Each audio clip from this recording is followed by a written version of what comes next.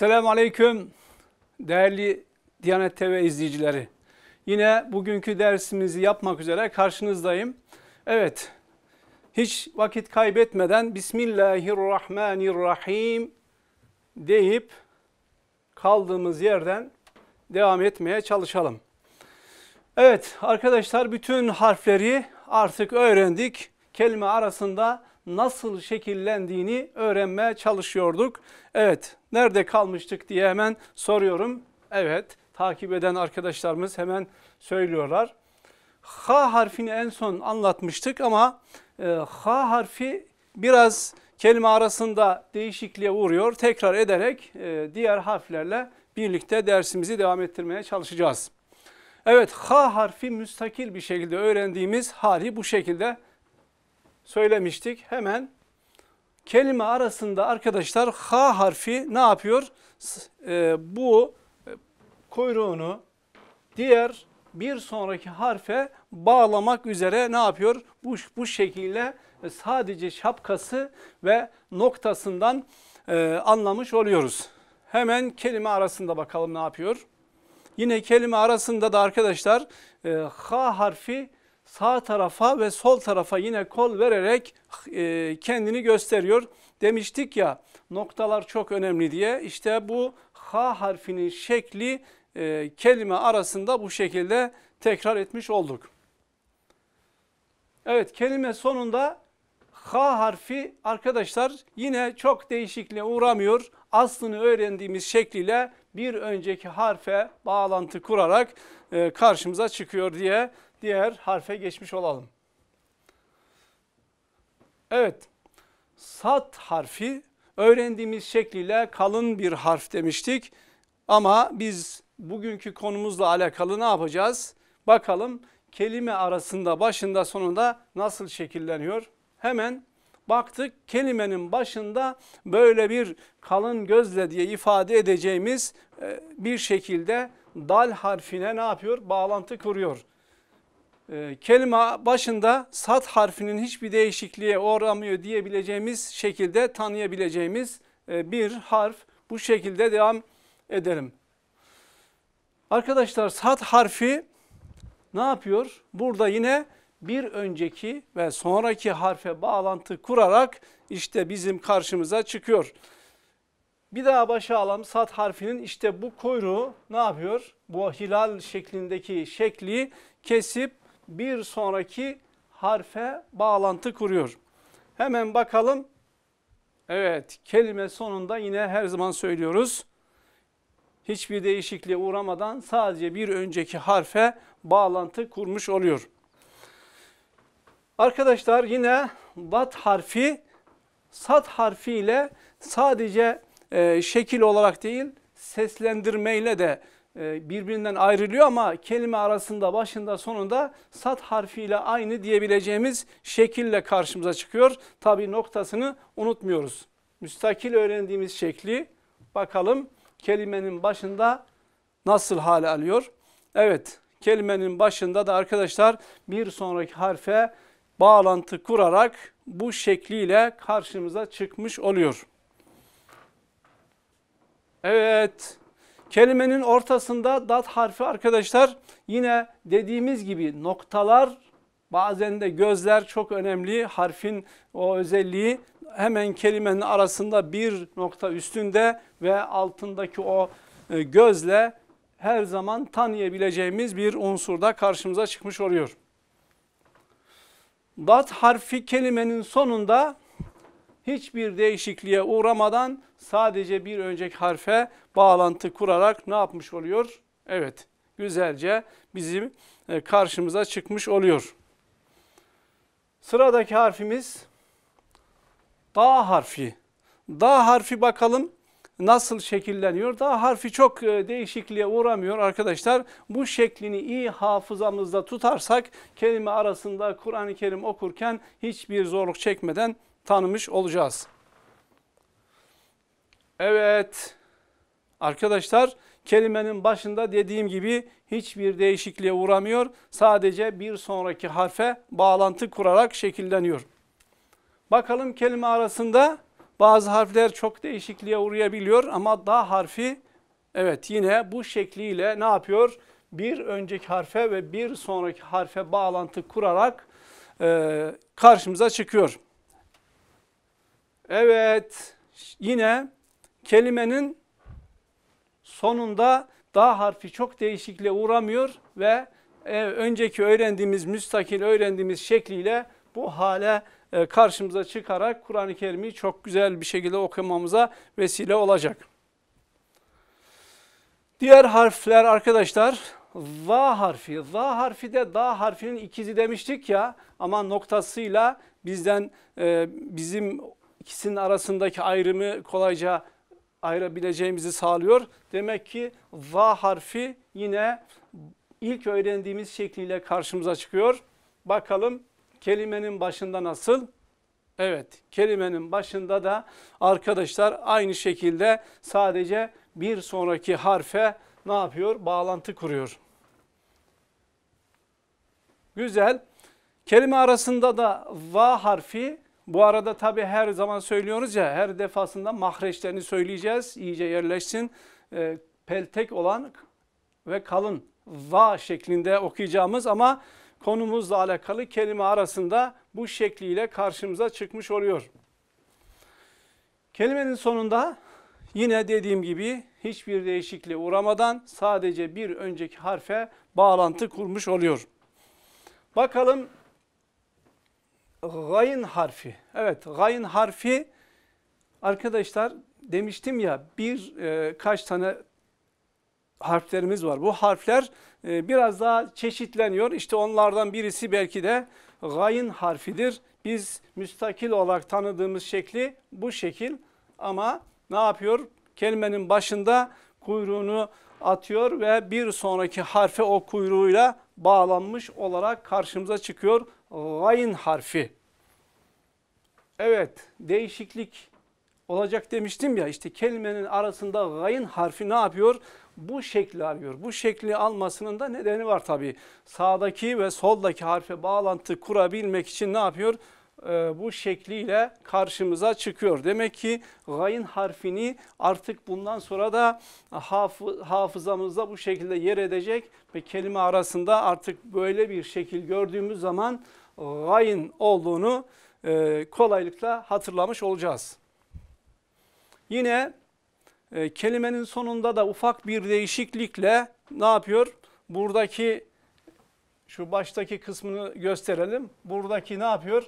E, o tabiri caizse ağzını açmış şekilde beklerken ne yapıyor kelimenin sonunda? Bir önceki harfe bağlantı kurabilmek için işte o açıklığı ne yapıyor? Kapatmış olarak işte gayn harfi e, onu da söyleyeyim yine e, Kur'an-ı Kerim'in e, çoğu yerinde bu şekilde geleceğini de ifade etmiş olalım ve bu şekilde e, gayn harfini de tanımış oluyoruz.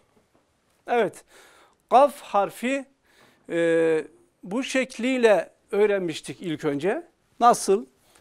Her zaman ifade edeceğiz. İki gözü, pardon iki noktası tek gözüyle nerede görürsek onu tanıyacağız bu şekilde. Evet hemen bakıyoruz kelimenin başında ne yapıyor? Evet yine kaf harfinin bir gözünden ve iki tane üstünde noktasıyla onu artık her yerde tanıyacağız. Hemen bakalım. Arkadaşlar burada da yine biz kelimenin arasında sağındaki ve solundaki harfe bağlantı kurduğu için bu şekliyle ama dediğim gibi iki, e, iki noktası ve tek gözüyle onu tanımış olacağız. Kelimenin sonunda arkadaşlar ne yapıyor kelimenin sonunda? Kendi hali yani müstakil haliyle karşımıza çıkıyor. Bir önceki harfe bağlantı kurarak kaf harfini her yerde tanımış olacağız. Şimdi arkadaşlar şimdiye kadar kelimenin e, başında, ortasında, sonunda harfleri öğrendik. E, bundan sonra bir tekrar yapmak istiyorum. Nasıl? Biz demiştik ya bazı harfler özellikli. O özellikli harflere ben geri dönmek istiyorum. Evet. Arkadaşlar burada özelliklerden kastım şu. Bir, kendine kendinden sonraki harflere bağlantı kurmaya, kurmayan harfler var. Ben onları öncelikle dile getirip daha e, iyi tanımamız açısından çünkü bağlantı kurduğu zaman bazı harflerle karıştırabiliyoruz. İşte onlardan birisi arkadaşlar elif. Elif kendinden sonra gelen harfe birleşmez. Hemen bakalım. Evet bu kelimede ne yapmış? Müstakil olarak kendinden sonraki harfe birleşmemiş. Evet yine bir önceki harfe birleşmiş kelime ortasında ama sonrakine birleşmemiş.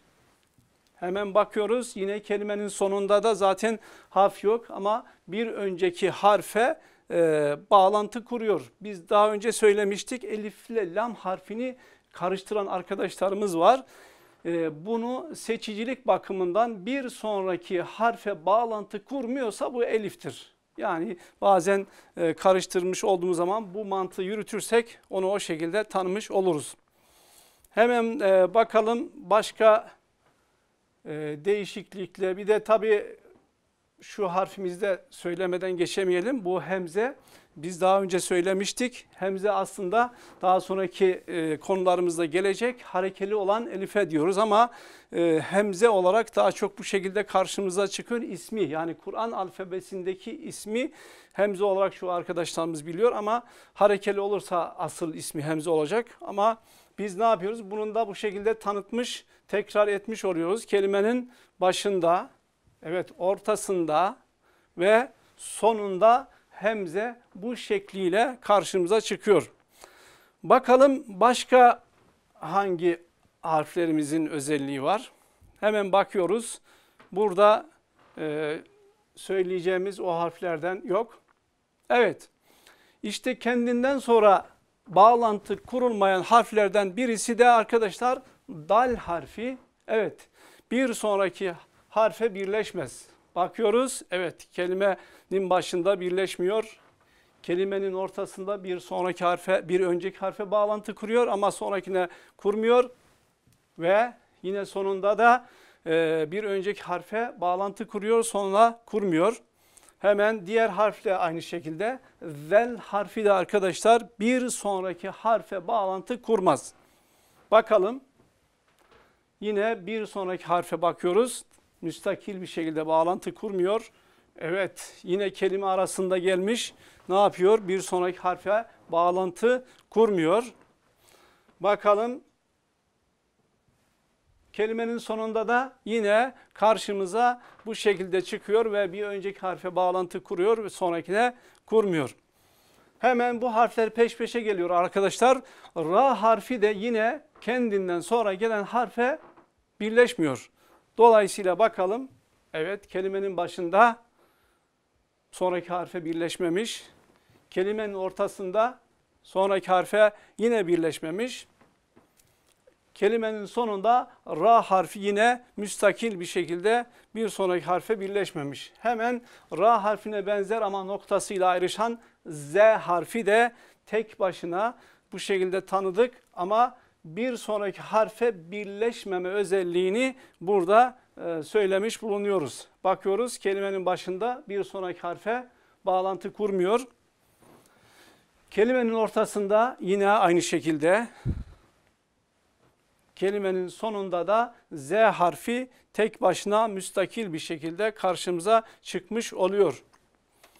Hemen bakalım başka bu özellikte olan harfimiz var mı?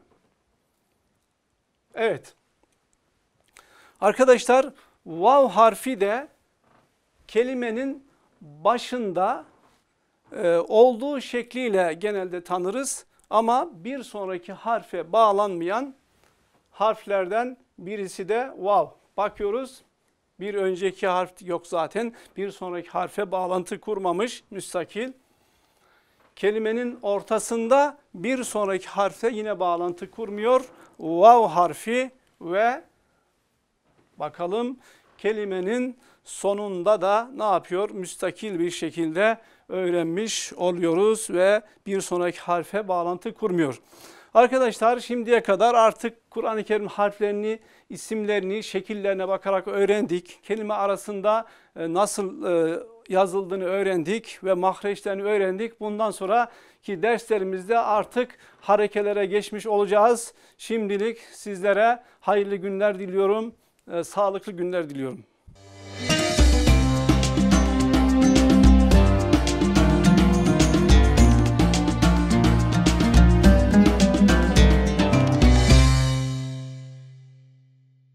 Merhaba değerli izleyenler. Diyanet TV'ye, ibadet dersimize hepiniz hoş geldiniz. Rabbim bize bu dünyada da iyilikler versin, ahirette de iyilikler versin. Korktuklarımızdan emin, umduklarımıza nail eylesin inşallah. Değerli izleyenler, bugünkü ibadet dersimizin konusu mükellef ve davranışları ile ilgili hükümler.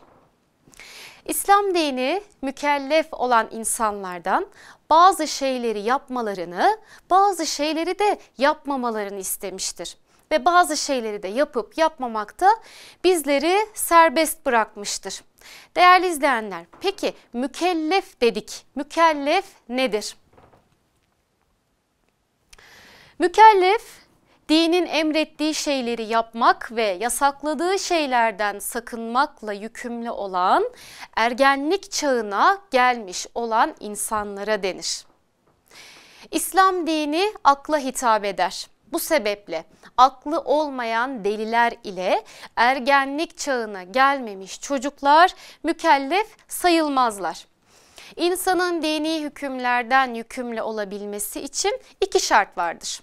Bunlar akıl ve bulu yani ergenliktir. Peki ergenlik nedir?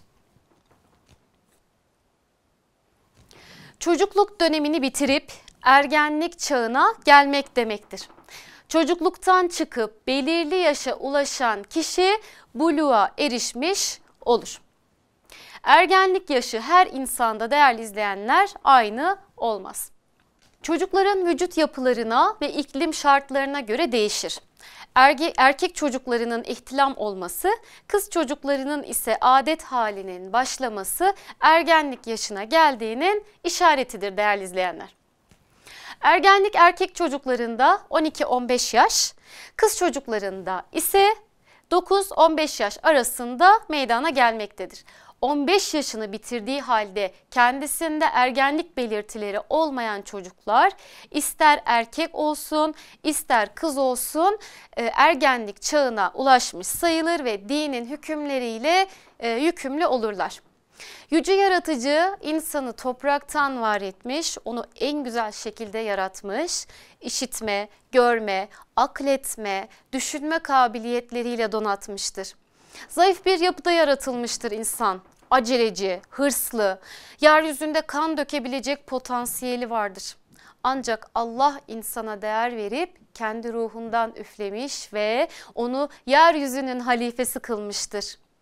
Yerde ve gökte olan her şey, kısaca tüm mahlukat yüce Allah'ı ibadet etmekte, ona karşı sorumluluklarını yerine getirmektedir.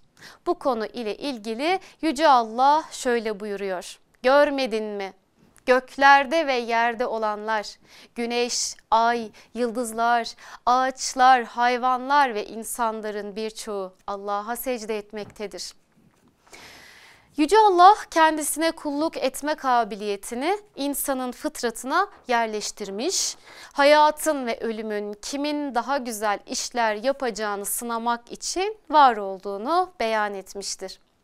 Allah insanın sadece iman etmesinin kurtuluşuna ve Allah katında mükafata nail olmasına yetmeyeceğine dikkat çekerek insanlar sadece inandık demeleriyle bırakılacaklarını ve imtihana çekilmeyeceklerini mi sanıyorlar buyurulmuştur değerli izleyenler. İslam her konuda olduğu gibi ibadet hayatında da dengeli ve tutarlı davranmayı tavsiye etmiştir.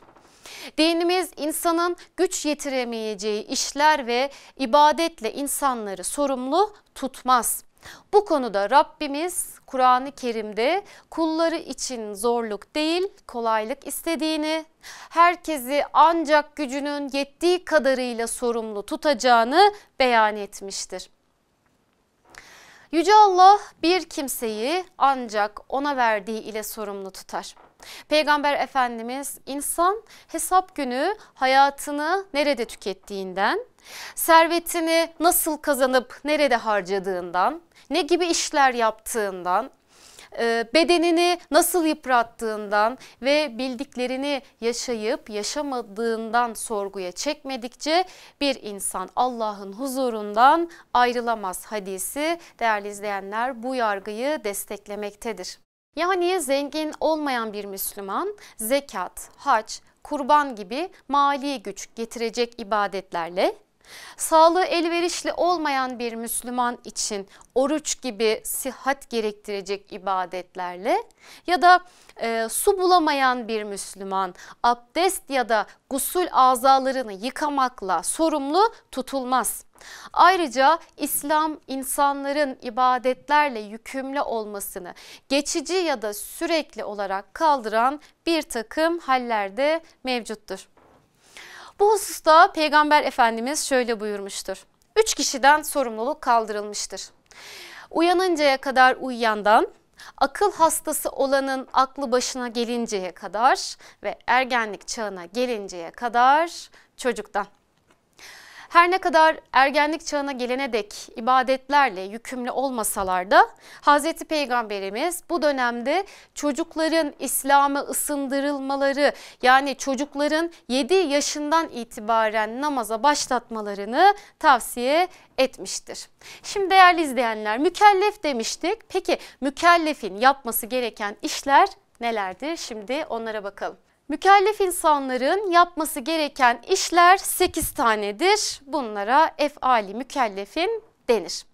Değerli izleyenler bunlardan birincisi farz. Sık sık duyduğumuz farz dinen yapılması kesin bir şekilde emredilen davranışlardır. Yani Allahu Teala bizden kesin olarak bu davranışları istemektedir. Farzı yapan sevap kazanır, özürsüz, kasıtlı bir şekilde yapmayan, terk eden ise günahkar olur. Değerli izleyenler, farz, farzı ayn ve farzı kifaye olmak üzere ikiye ayrılır. Farz-ı ayn dinen yapılması kesin olarak istenen şeylerdir her mükellefin kesinlikle, kesinlikle yapması gereken davranışlardır. E, namaz kılmak, oruç tutmak, zekat vermek, hacca gitmek gibi ibadetler. Yani her mükellefin bireysel olarak yapması istenen e, davranışlar, ibadetlerdir. Bir diğeri farzı kifaye bazı mükelleflerin yapmasıyla e, diğer mükellef insanların yapmasına gerek kalmayan davranışlardır. Değerli izleyenler Buna da örnek olarak cenaze namazını verebiliriz. Bir diğer mükellefin davranışları vaciptir. Farz kadar açık ve kesin delillerle dayanmayan fakat dinimiz tarafından emredilen davranışlardır. Vitir ve bayram namazı ve kurban kesmek gibi. Değerli izleyenler vacibi yerine getiren sevap kazanır, kasıtlı bir şekilde terk eden ise günahkar olur. Bir diğer efali mükellefin e, maddemiz sünnet. Hazreti Peygamber'in farz ve vacip dışında yaptığı veya yapılmasını tavsiye ettiği davranışlardır. Hükmü değerli izleyenler e, sünneti yapan sevap kazanır, kasten terk etmek ise kınama ve azarlanmayı gerektirir. Sünnet ikiye ayrılmaktadır. Bunlardan birisi sünneti müekkede, bir diğeri ise sünneti gayri müekkede.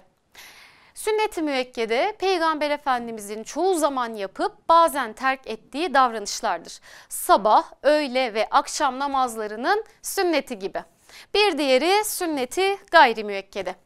Peygamber Efendimizin ara sıra yaptıkları sünnete denir.